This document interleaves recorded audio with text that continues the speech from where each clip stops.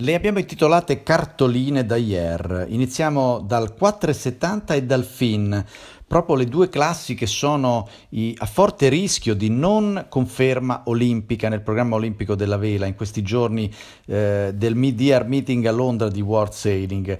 Questo nostro servizio su Ier, l'ultima tappa di Coppa del Mondo, prima della finale di Marsiglia, quella che in qualche modo eh, fa da preludio a ciò che succederà, come sapete, a Genova nel 2019-2020, perché proprio Genova sarà quello che è stata Ier quest'anno, cioè l'ultima tappa della Coppa Coppa del Mondo prima della finale che sarà in Giappone. Ebbene, queste immagini, questo, queste cartoline appunto dalla eh, celebre sede olimpica della vela olimpica di ieri ci portano in qualche modo a fare un po' il punto di quella che è la situazione della nostra squadra olimpica, della vela olimpica azzurra, non solo, ma della vela olimpica in generale, proprio perché in questi giorni, come vi dicevo, si svolgono importanti decisioni al mid-year meeting di Londra. Eh, il, la tappa di ieri ha confermato soprattutto, oltre alla bella organizzazione francese, nostri, le nostre punte di diamante. Ruggero Tita e Caterina Banti, qui vediamo anche Lorenzo Bressani e Cecilia Zorzi, insomma nel catamarano siamo andati davvero molto bene, tra poco sentiremo proprio l'intervento di Ruggero Tita. Abbiamo un atleta da tenerci davvero stretti, cosa c'è dietro di loro? Questo è un altro discorso, ma intanto sentiamo Ruggero. I primi giorni sono stati di vento leggero, ci hanno fatto soffrire parecchio, e, però l'ultimo giorno per fortuna abbiamo avuto un bel vento più, più sostenuto che è quello che, che, ci piace, con cui ci alleniamo spesso e quindi abbiamo fatto molto bene, siamo riusciti a, a vincere prima del, della medal race. Vincere prima della medal race non è cosa da poco, era già successo a Palma, significa avere una superiorità che va oltre il punteggio delle qualifiche. Questo Ruggero e Catorina lo sanno. Sentiamo il direttore tecnico Michele Marchesini. Assolutamente dobbiamo iniziare da Ruggero Tita e Caterina Banti che portano a casa la vittoria alla settimana di ieri con un giorno di anticipo così come avevamo fatto Palma e questi sono risultati molto importanti che proprio marcano una carriera agonistica di alto livello. Eh, eccezionale il rientro di Bissaro che dopo aver patito, qui abbiamo forse qualche problema di non, target, non essere in target completamente con il peso e dopo aver patito quindi un po' il vento leggero dei primi giorni, anzi anche molto perché ehm, in seconda giornata mi pare fosse ventitreesimo, comunque molto in basso in classifica, è riuscito a rientrare con una prova di carattere, di fiducia in se stesso, eh, sia lui che naturalmente Mael Frascari. Ritornare a vedere Bissaro Frascari tra i primi posti e a giocarsi possibilmente uh, un posto sul podio è di estrema soddisfazione. Eh, benissimo, il terzo Nacra in medal race, conferma che siamo un'entità catamaran foiling, se mi permettete, eh, importante. Lorenzo Bressani e Cecilia Zorzi molto bene anche qui.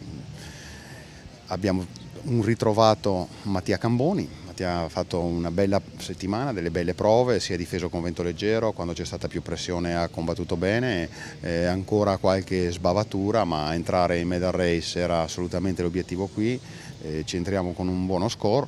Eh, in funzione preparazione, sviluppo siamo contenti. Bene anche il 2.4 così completiamo il quadro delle classi che si sono qualificate per la medaglia. Antonio Squizzato è assolutamente un atleta di valore, una certezza a livello internazionale in questa classe paralimpica, grandi soddisfazione. In mare in questi giorni ho, mi sono focalizzato particolarmente sui 470, eh, in primis femminile ma anche maschile, eh, anche qui non sono terminate le regate flotta, ma anche qui in questo momento abbiamo due equipaggi in top 10.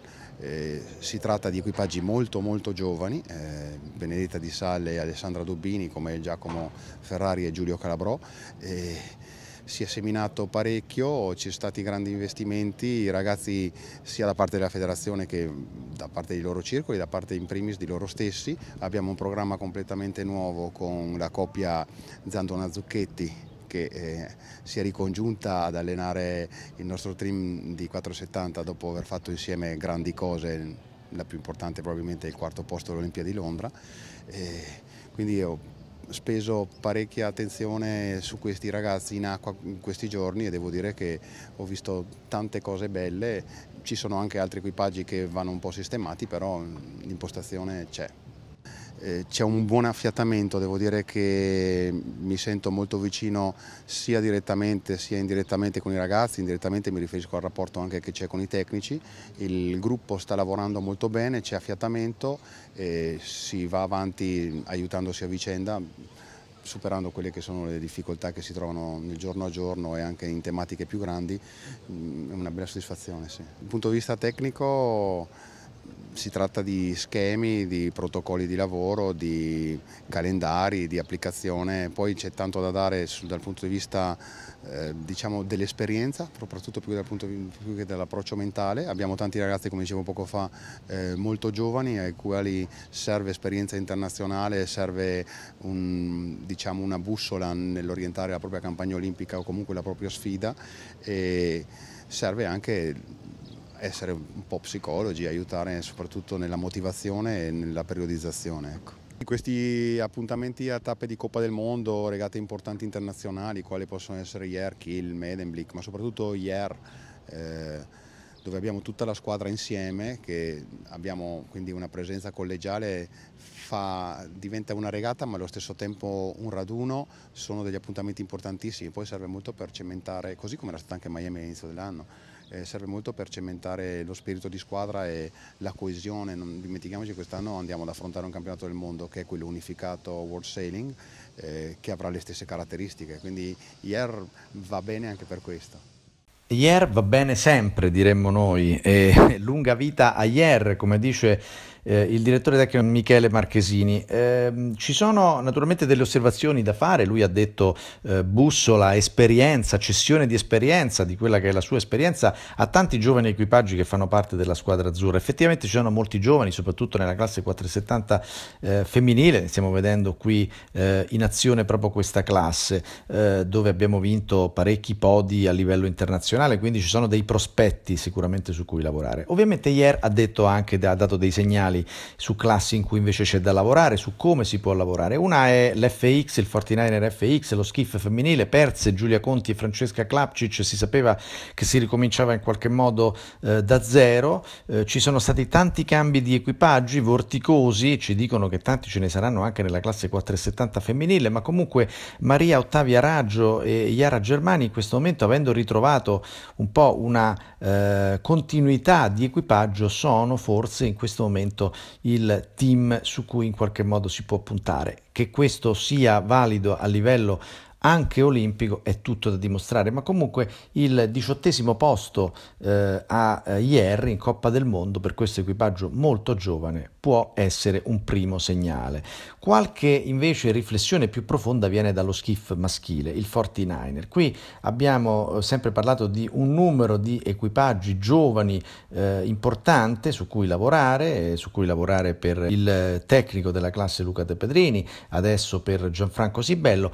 Qui c'è stato qualche passo indietro o perlomeno c'è da lavorare sicuramente di più con i ragazzi del eh, 49er. Per quanto riguarda il laser è stata la grande settimana di eh, Marco Benini e adesso chiudiamo con i bravissimi quattro settantisti eh, Giacomo Ferrari e Giulio Calabrò. Eh, sono stati 5 giorni di regata più oggi la medal race eh, veramente complicati sia dal punto di vista meteo, delle condizioni e soprattutto dal punto di vista tattico, comunque la flotta è al completo, non manca nessuno, è stata una vera e propria prova generale per Arus, quindi siamo contenti, eh, abbiamo lavorato molto bene con, con Gabbro e Pietro e con tutta la squadra della federazione quest'ultimo periodo, abbiamo saltato Palma proprio per allenarci e il lavoro si vede e speriamo di continuare così proprio in vista dell'appuntamento di agosto.